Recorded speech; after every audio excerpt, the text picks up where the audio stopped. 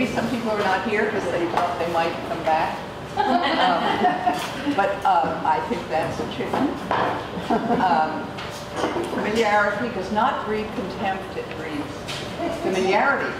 Um, Anyway, I brought them back with, uh, with branches, so they are somewhat arranged. A number of you walked in here and immediately said some things that are uh, wonderful, the breadth of your brilliant experience, like you said, even without looking at anything I had over here. Uh, one person said lyrical, I won't say who said what. Another said Renaissance, another um, said, or I cued, Pompeii. Um, and I was not deliberately setting up things like that, but I have all these examples here of apples in branch situation. The Pompeii piece is here, so some of them, the piece, the abandon a little towards that um, kind of uh, complex uh, um, display uh, against a, a sort of fantasy wall, which is something I want to encourage. If you want to um, turn this into much more of a landscape than it may look like to you, but it is a bit of in, outdoors, indoors with branches, contrived, again, another contrivance to keep your focus working hard. Um, so uh, these are different uses. This Worthington Whittredge, I mean, what a great name. In fact, that's not The third. And Yes, it's Thomas Worthington Whittredge. What? Sharp eyes. Um, So these are things, apples in a setting, very much like what we have here. Uh, You have to borrow pieces to put it together. Um, So that's the first thing. The- There are photographs, very rough photographs of similar things that I put out, not for you necessarily to paint from, unless somebody wanted to, but, um, but again, to do a little eye com- comprehension thing. When, when you, can- when you work from a photograph, or even just look at a photograph, you are looking at something that's two-dimensional. When you're looking at these, they're three-dimensional. Therefore, your process of getting that to your paper in two dimensions has to go through that translation.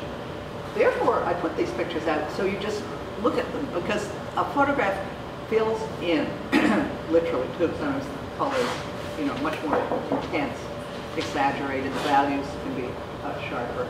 But it also, um, clearly, it has to fill in the space uh, because you don't you know, the space that you see when you look at one of those things with branches coming at you or around and an apple in front, but there is um, atmospheric and true space, breathing space between them. You can go under, over, around um, visually. You literally could just come up and look at that.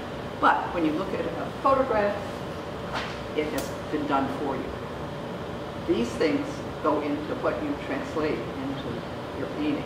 Um, you know, are you simulating space, uh, getting that air in it? Are you, uh, as these wonderful books that uh, Shelby brought in, uh, Nolde, are you, I mean, this fabulous sort of purity of color, um, just flat on the paper, you know. Yet, yet he's also indicating space in and around. Here's another one.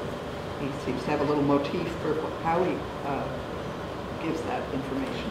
So that is why I gave those. So it, they bear a moment of um, looking at and, and thinking about your translation um, into the two dimensions of paintings and their details.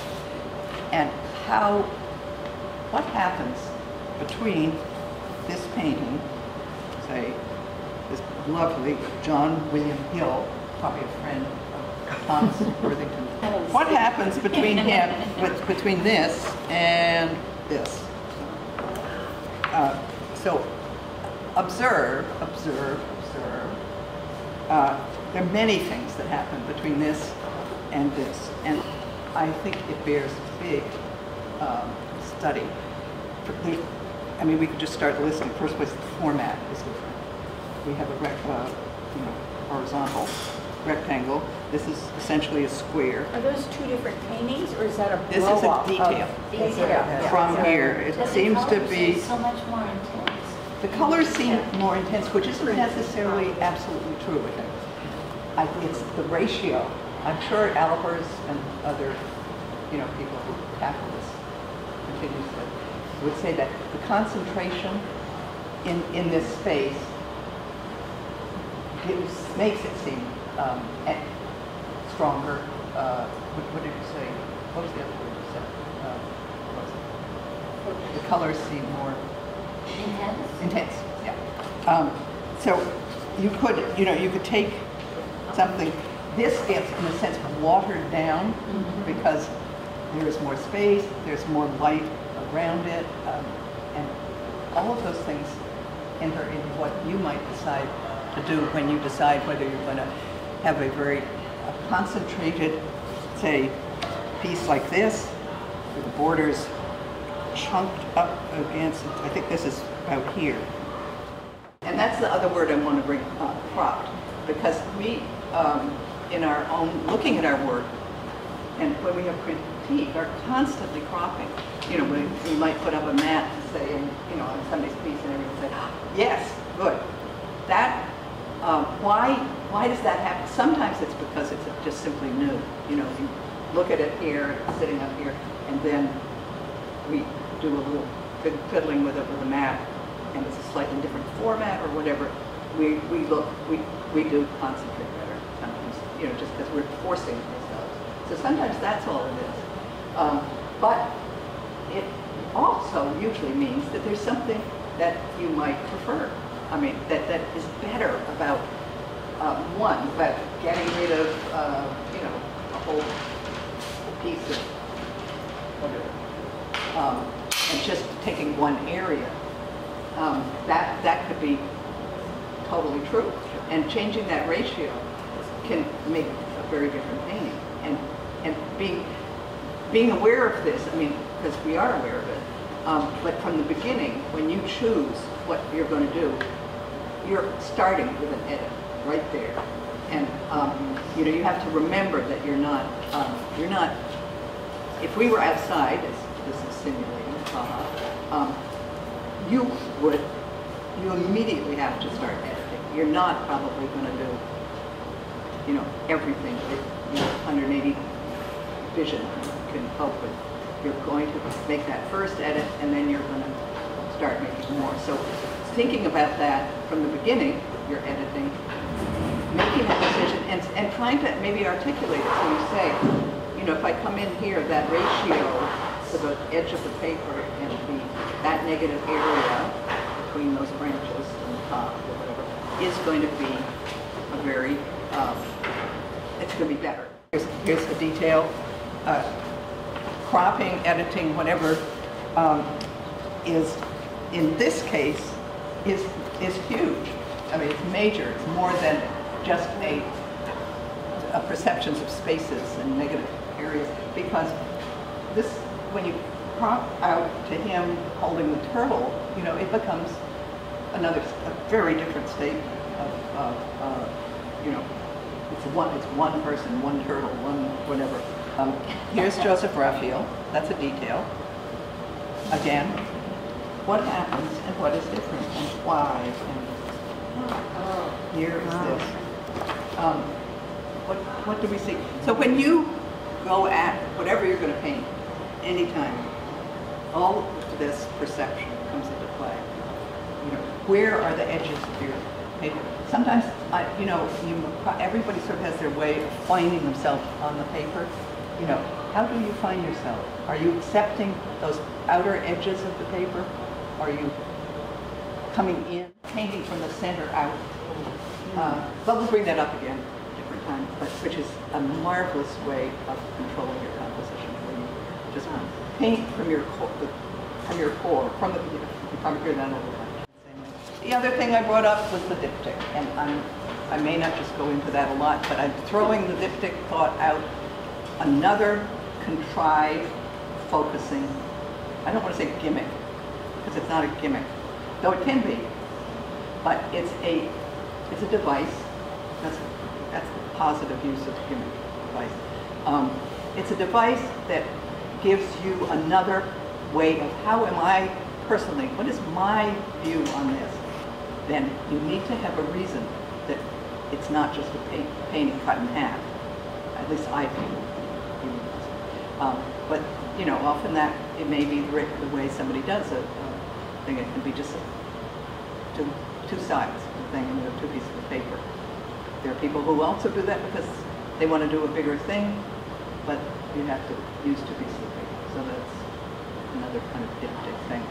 Um, but when you do a diptych, you're doubling the kind of thinking of this ratio to the edges, because you have two uh, rectangles of some sort. So that's another thing we can talk about. When painting from the middle out, Mhm. which I tried once or so, um, you don't have your composition drawn out first. I Not necessarily, no, at least when I do it, I might draw the, the Have it core. in your head. And, yeah, I mean, I might start with, um, I don't know if this is too great an example, but I might start with, you know, these elements here. This isn't a very large area, so, but, and then, it's, it's a Demuthian I was going to say, yeah, sounds like. the move, the move again. Um, the, because the radiating from, from the center too. It is also a, a, it can be a very good way if you're having any trouble, if you're working with a figure or even a landscape, um, of getting those relationships. This may not be too good, but this is, this is the landscape view. Um, if you work from here out, you are more, you're relating each element as it comes to its neighbor, you know, whether it's a tree and you think, oh, wait a minute, that, I mean, this may not be ever important to you, but, you know, that tree is so much bigger uh, than the other tree, or that tree is definitely behind. Um, If you, if you move these things in rate relationship to each um, element, trees, say a figure, trying to put a figure in a chair sitting up there, um, you know, if you get where, where her hip hits the edge of the table or whatever, you know, just you keep, you keep relating. It's a, it's not a crutch, but it's a, it's a good way of organizing. So you're editing as you go along? Yeah, and you're editing as you go along. I mean, one could say that you just sort of stop when you come to the edge, sort of, oh, um, you may not go to the edge, but um, uh, you are kind of editing. And you're composing? and composing. And you're, and you're making little mini decisions each time, sort of, um, if, if I thought to talk about this when I was doing this last week, um, where something abuts, you're making a decision of, you know, I need a dart there to punch that out. Or, you know, if I put that stripe coming from here and under and beyond the glass, it's going to give me the edge of the glass. Um, this color contrast, I mean, each one is a little decision, which actually is probably less effortful than that makes it sound. I love working from the center out because uh, 90% of it for me is responding, again, to the, not accidents, but what, what goes onto the paper. Some of it could be an accident. You put something, particularly in Yupo, you might put something and think, ooh, and then ah. Um, uh, I really can use that. Uh, and so you are going to respond to that with your next touch. And you just, you roll. It's very, Well, it's like a jigsaw puzzle to me. yeah, and it is like a jigsaw. Try working from the outside in. Good luck. I, I'm just thinking about that. When you do a landscape and you layer in your sky and, and Not clouds, much that's not working from inside. No, that would be, and, uh, that would be Copying, copying. Oh, no. If only I could copy. Um, um, yeah, that, that would be, I mean, sort of organizing the whole sheet and saying, I'm going to have sky here, uh, whatever. Um, and you would probably be working much more openly.